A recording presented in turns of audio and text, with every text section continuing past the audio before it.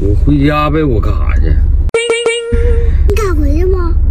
我回家我咋不敢呢？那你忘了早上跟我妈说啥了？啊我没说啥呀。哦，no 你跟老子真够呛。我妈早上穿裙子，你说啥了？啊我说挺好看的呀，你说那裙子有点瘦。那确实瘦啊。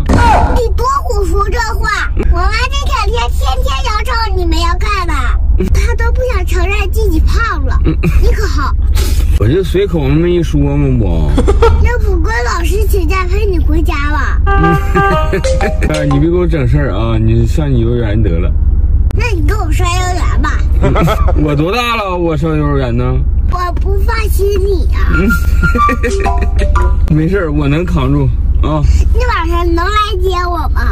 你快走吧，别磨叽了，行不行？